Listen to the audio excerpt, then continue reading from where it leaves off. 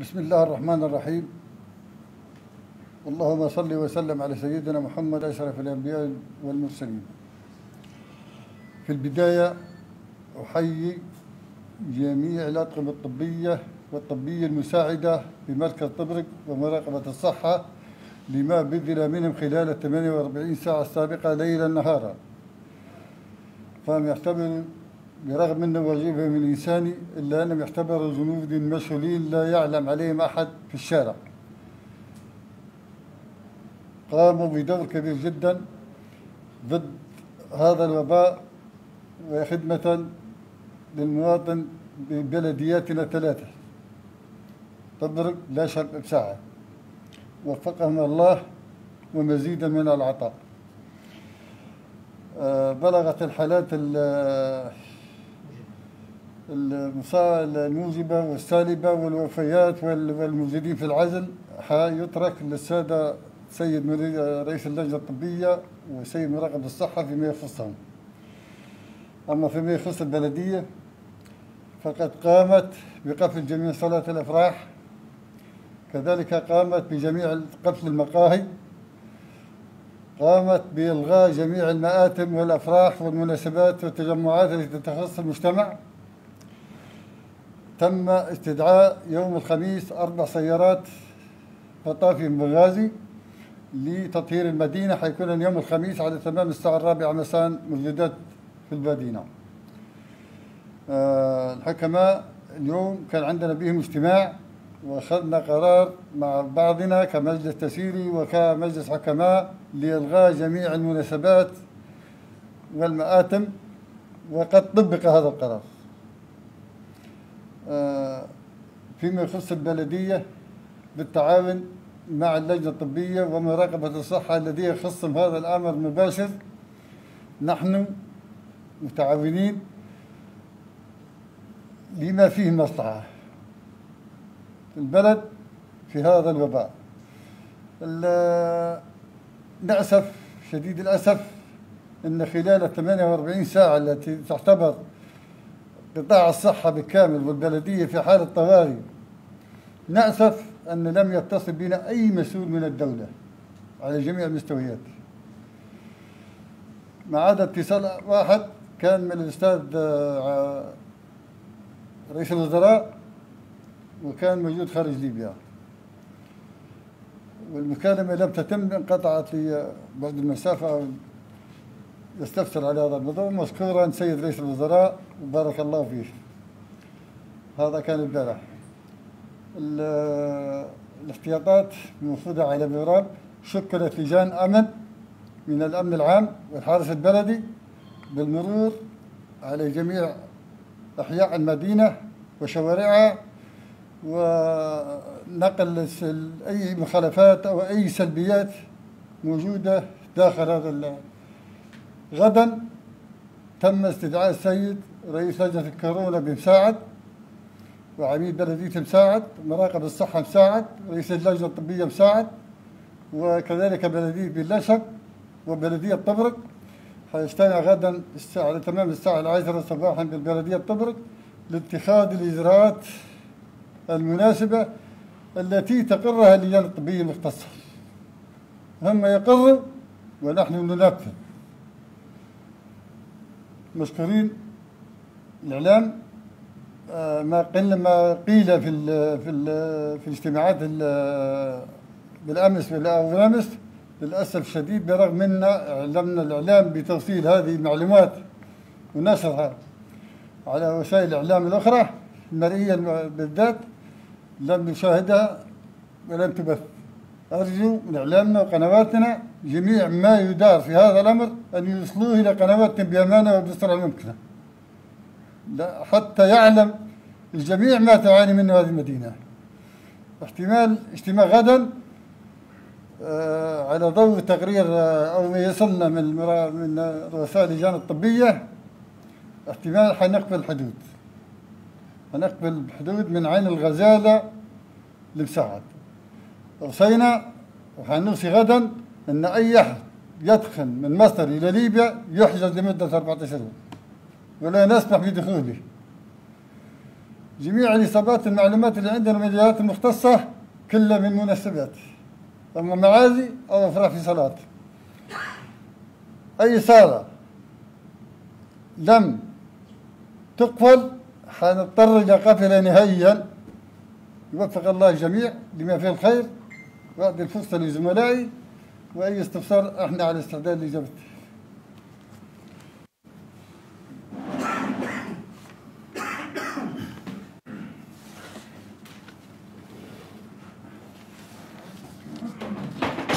السلام عليكم.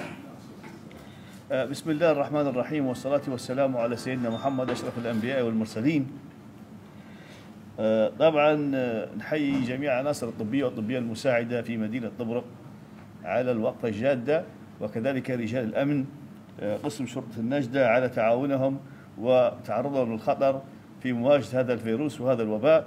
إن شاء الله يزيح علينا بأسرع وقت.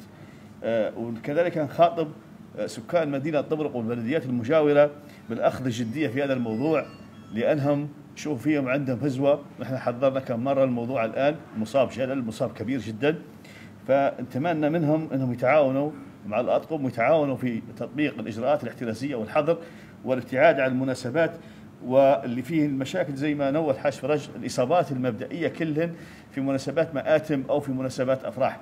والآن بدأنا في المخالطين والأعداد في تزايد.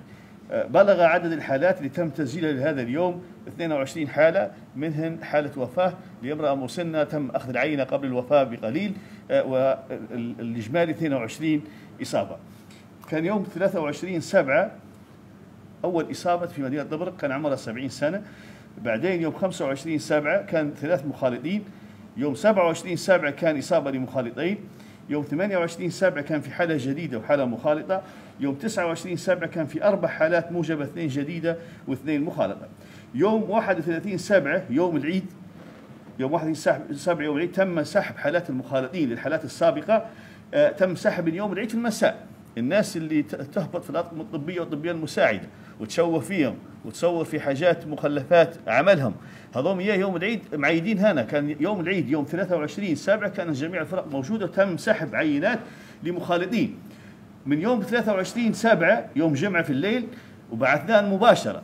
كان ما فيش عمل في في المختبر في بنغازي يوم السبت يوم الأحد. نحن الناس هنضغط علينا وكان في ارتخاء في. في النتائج أو في استعجال. يوم 2 8 طلع النتائج أمس الساعة 12 يعني من يوم 31 طلع النتائج يوم 2 8 في في منتصف الليل. وهذا تسبب في رعب حتى عند الناس تطلع النتيجة في الليل اللي طلع فيها سبع حالات البارحة. كتكلم أهلهم ثمان حالات فيهم حالة الوفاة طبعا. كتكلم أهلهم وتبي تاخذهم حتى في الليل يقعد في إرباك وفي إزعاج ويحسبوا الموضوع آه، في في مشاكل أخرى. فيوم يوم البارحة كانت ثمان حالات موجبة في أربعة جديدة للأسف وأربعة مخالطة. فيهم حالة الوفاة. آه، كذلك تم سحب الحالات اللي هي تعاونوا من حالات بعض حالات المتوفيين اللي كان دخل عندنا حالات طبعا للأسف الشديد الآن ما يحدث. آه، أي حالة آه، مشكلة في الصدر آه، حتى في العيادات الخاصة والعيادات المجمعه وكذا يتم التحويل قسم العزل المباشر. تسبب زحمة في قسم العزل قسم العزل السعه السعريه بتاع 20 سرير. الآن هو مختلط بالمرضى.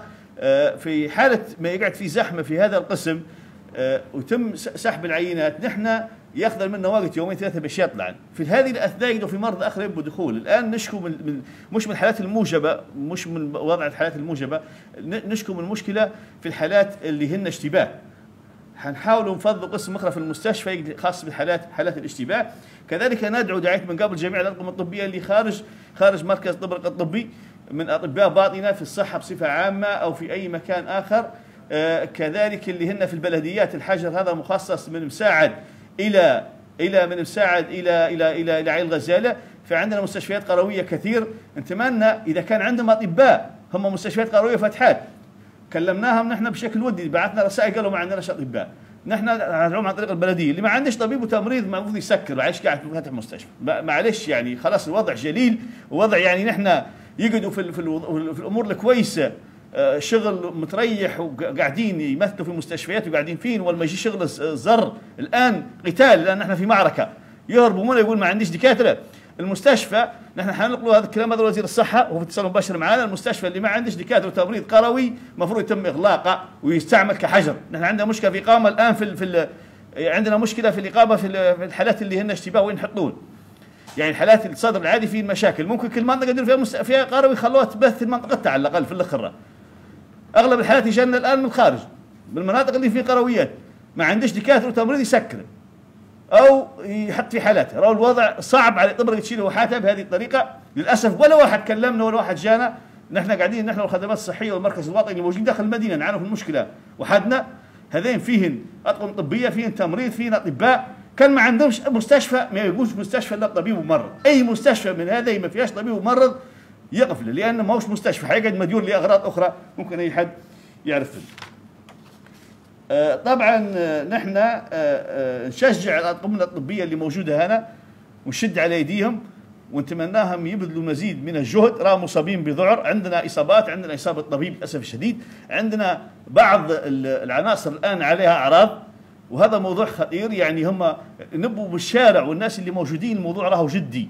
الموضوع كان يحسبوها تطرق بأي شكل من الأشكال. قريب أغلب الأحياء فيه اصابات كان نسموا الأحياء بهذه الطريقة. كلهم تلاقوا في مناسبات. خلينا نحسبوها بالحسبه أخرى أغلب القبائل اللي قاعدين في الحاجة المختلفه القبائل. كانوا برنامج اجتماعي. لذلك لازم يكون جد ويشجعوا الناس هذول اليوم أبنائهم. راهم اللي قاعدين في العمل الآن يبوا تشجيع. ما يبوش ناس تحبطهم. نحن نحن خذينا على الإحباط كإدارة ولا كوزارة صحة خذينا على الإحباط من الشارع. ومتعودين عليه. لكن لا اللي تخدم معانا راهو صعب عليها أن تتحمل الكلام اللي يجي والطلعات اللي فيهم وفي اللي حتى يهدوا فيه بالتليفون. أنا شخصيا تعرضت للتهديد. يهدوا فينا وهذا لا من نمشي الحجر لا منديل لا. فالأمر هذا راهو أمر جلل. نتمنى من من, من يبوا يسمعوا الناس والشارع نحن يوميا حنعطوهم انجاز إيجاز يومي ملخص على الحالات الإصابات والاشتباه وغيره. نعطوه نحن يومي. يبوا يسمعوا من مكان واحد آخر. واحد يكتب في الفيس كذب ما فيه كذب يكذب وكذب يبوا هذه قصة ترجع لي يبوا الحقيقة اللي في المستندات الحقيقة الحقيقية حيلقوا عندنا. عن طريق اللجنة الطبية وعن طريق الأمور الطبية مفصلة في الجهة الشرعية في جميع القنوات الشرعية اللي بعد الدولة واللي لنا مشارعات عندنا. يبوا يسمعوا في صفحات وهمية في الفيس والله في في مكان آخر وهمي. هذه حاجة ترجع لهم. ونحن نقولها من خلال المنبر هذا. نحن بالاضافه إن قاعدين في صراع وفي قتال مع هذا الوباء. حنقاضي ونلاحق أي حد يطعن في مهنتنا ويطعن في وزارتنا ويطعن فينا كأطباء ولا في تمريض ولا في كوادرنا الطبيه العاملة. أي حد نقولها إن شاء الله حتى هيك اقرب الأقارب نثبتوا عليه أي اجراء حنقاذوه في القاذوه في القضاء في القضاء الليبي. مش حنسيبوه. نمثل في هذه المؤسسة كمركز الطبي ومثل وزارة الصحة. أي أي حاجة تجي على الأفراد اللي يخدموا معنا يكون اسمه معروف نحن ندير فيه البلاغ. والباقي متروك للجهات الأمنية المختصة. وحكيناها من قبل وناشد مدير الأمن. إذا كان أي حد غلط فينا قصد أو بدون قصد ودرنا في بلاغ ولا يتم القبض عليه نحن بروحنا حنسحبه من الساحة. إذا كان ماناش محميين حنسيبوه. نحن رانا ماناش قادرين نصبوا عليك على اصابات كثيرة الناس براقدة في الحواشين ما لحد ما نبوش نعلن لو كان في نبدو تحاليف ضبرك حنلقى إصابات نص بالك ما لحد بالتليفونات يتابعوا فيهم الاطباء بتليفوناتهم الخاصة حتى الرصيد ما عندهم يتابعوا فيهم بيهم ويعطوا فيهم في وصفات الحواشي. هذول لو كان نفتحوا لهم مستشفيات مش مستشفى حيصيروا لذلك الموضوع راه خطير. نحن حبينا ننوه عليه لأن حقينا استهزاء واستهتار لدرجة لا تصور في ناس من اللي عندهم إصابات يكذبون هل فيهم إصابات. يعني موضوع أخطر منك ما فيه. ونترك الأمر. تو الدكتور أحمد يعطي شوية على الأمور العلمية وتفاصيل الأمور العلمية على الحالات. وشكرا.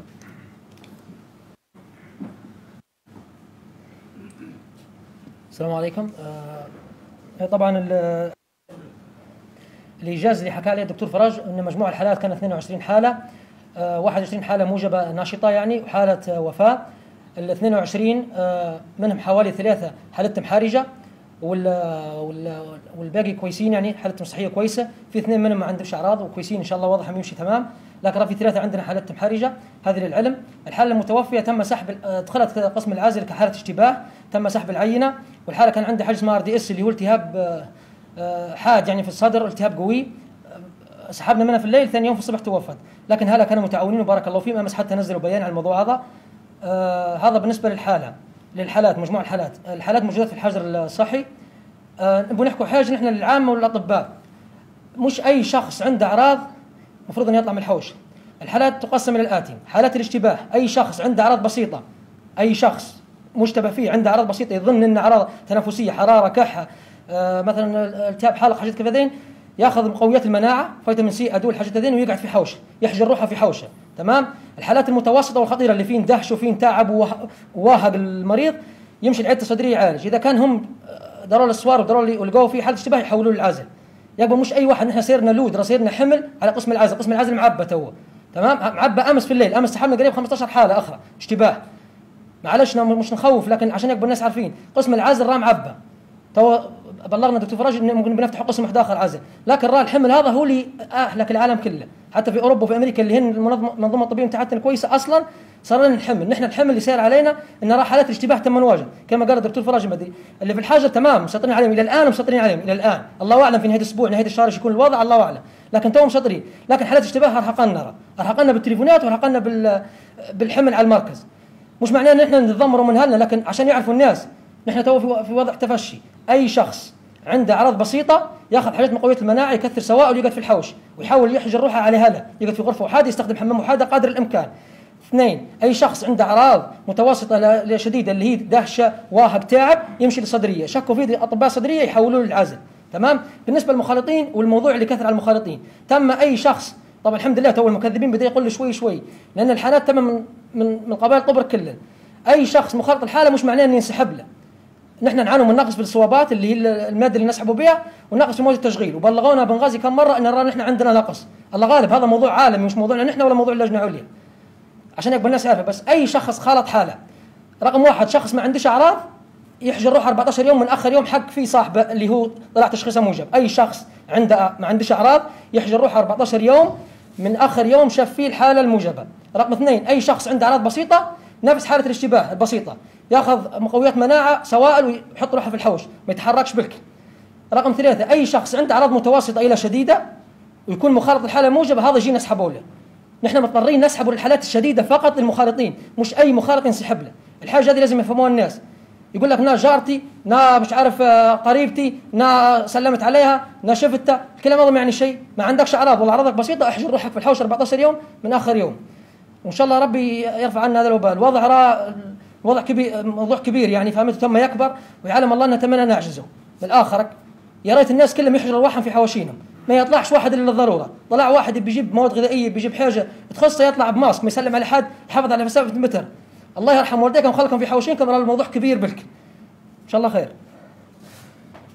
بنعلن حاجة بس من خلال آه، هذا المؤتمر إن نحن في السابق كنا كنا حتى نحن كأطباء وكذا آه، متوقعين يعني هذا هذا الوباء انه ما يوصلناش إلا بعد يكون قد آه، انتهت قصته له علاج أو تطعيم أو أو إلى آخره يعني. كنا متوقعين إنه مش حيوصل الطب وصل.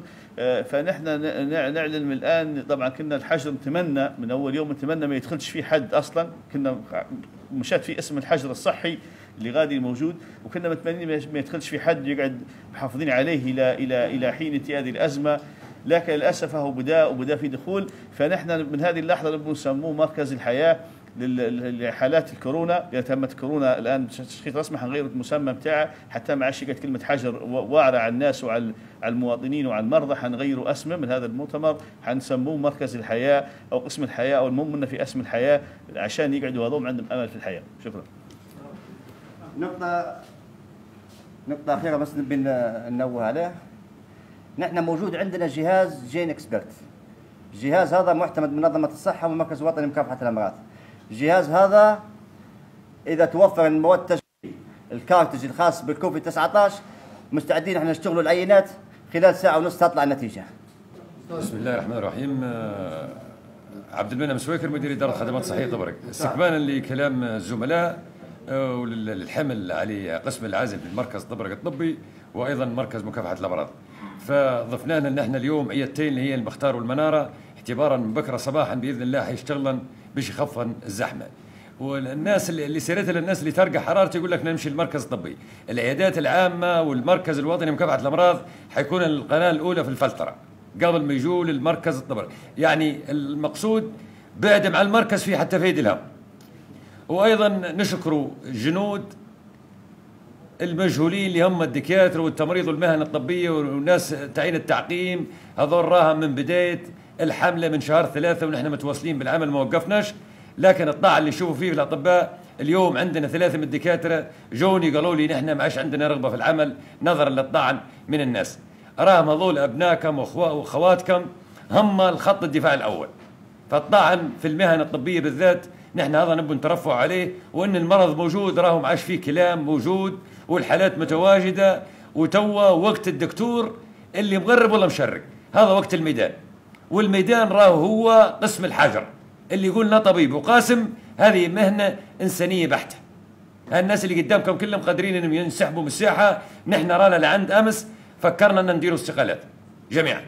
من الطاعة اللي نسمعوا فيه من التجريح اللي نسمعوا فيه. نحن رانا من 17 ثلاثة ونحن متواصلين في شهر رمضان خدمنا من الصبح لليل في الفنادق استقبلنا العالقين. ما فيش حاجة ما درناها. وهذا عملنا وواجبنا يعني ما نشمنين به على حد. لكن آه، شكر ردك فعل عقاب النهار نقول له ارحم والديك. لكن الطعن التجريح اللي أول أمس فينا هنا راهو الكلام اللي صار في قسم العزل ونزلوه على النت كلام جرحنا جميعا. ونحن رانا في قارب واحد. ولما نطيحوا نحن حطيح البلدية بالكامل. يعني أول ما يطيحوا يطيحوا الأطباء والمهن الطبية بعدها حطيح المواطن اللي في الشارع. والدليل السن المصابة توا في الحجر. الناس مفروض تعود السبب. الأعمار كلها كبيرة وجاية من مكان تزاحم. الأفراح والمناسبات. نشكر السيد رئيس مجلس التسيري وقف معنا من البداية بقفل الصلاة وإيقاف المآتم لكن هذا كل التوعية مطلوبة الناس السلبية في النهايه في نهاية الأمر تذكر الله معنا ويدعو معنا باش نفتكهم من الجائحة وربي يحفظ الجميع وبارك الله فيكم الإعلام ونشكركم على إتاحة هذه الفرصة والسلام عليكم ورحمة الله وبركاته.